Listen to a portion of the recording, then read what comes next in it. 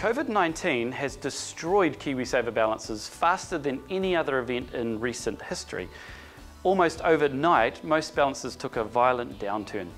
For example, the global share markets fell 26%, in the US markets fell 25%, and Australia and New Zealand were between 25 and 27% drop.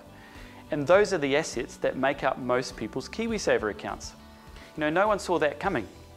No one was prepared for it. How could we be?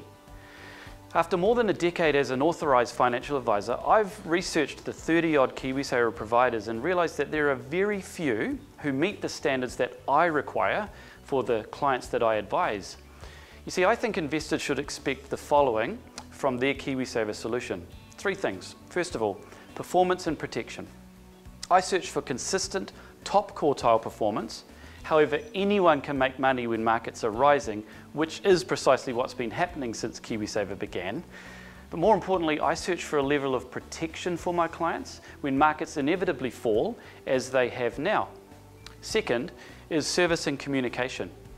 Again, I believe in a high standard of service and communication because I understand there's nothing more frustrating or frightening than not knowing if or how your KiwiSaver will recover from recent events. We have been in regular communication with all of our clients and providers. And thirdly, diversification. You see, clients often mistake diversification for owning more than one investment in the same market.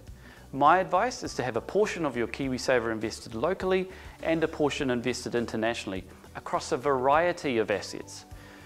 So where to from here? You might be thinking about whether you should change your KiwiSaver. You may not even know how to change it. It's very easy and quick, by the way. You may not know how your KiwiSaver compares to others, or if by staying where you are, you could lose more. But most importantly, you may not know how to recover your losses. It's very important. If you'd like to learn more, please click on the link provided.